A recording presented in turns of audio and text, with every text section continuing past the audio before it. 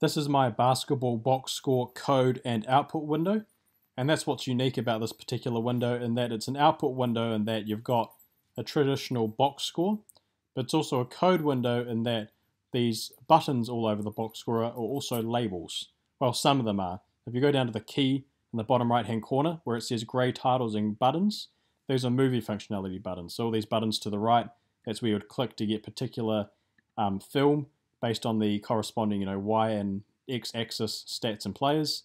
And then what's colored, so red title and white buttons, those are the label buttons. So all these buttons over here. So for example, the personal foul, if I click that, it's going to label this particular player on the y-axis with personal foul. Block, it's going to label that particular player on the y-axis. Then you can kind of work it out below that.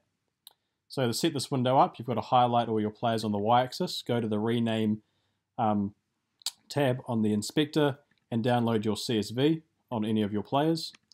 And then you can just, you know, right click and select all your players on that y-axis. Y-axis. And then from there, basically, you can start coding a game. Now, I would use this window for two scenarios. One, a practice scenario where you've got your squad split into two, for example, Scarlet and Grey for Ohio State. And then from there, you can kind of code the whole team and get the entire team totals.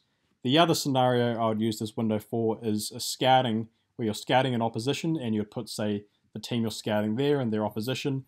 However, you're only scouting the players on the one team, so you're going to get the team's totals down below and all those players' stats.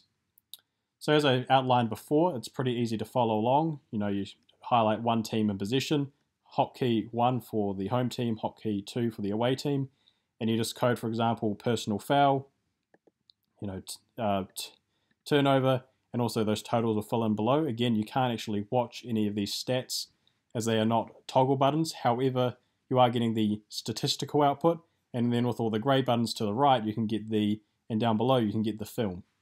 Now, the shooting buttons are a bit different. They're like my code window, if you've seen the video for my um, Ultimate Sports Code code window.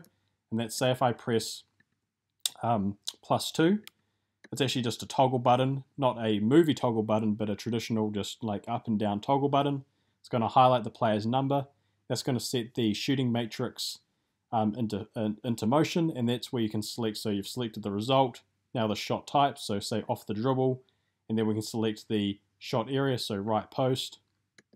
Here it's going to deactivate all those toggle buttons, and if I look into the um, sorter over here, I can see in that the team row and the player row, I've got the shot location, the shot result, and the shot type.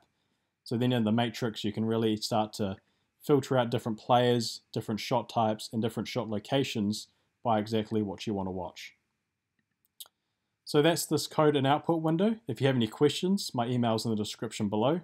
Other than that, I hope it's helpful for your team and hope you learned something.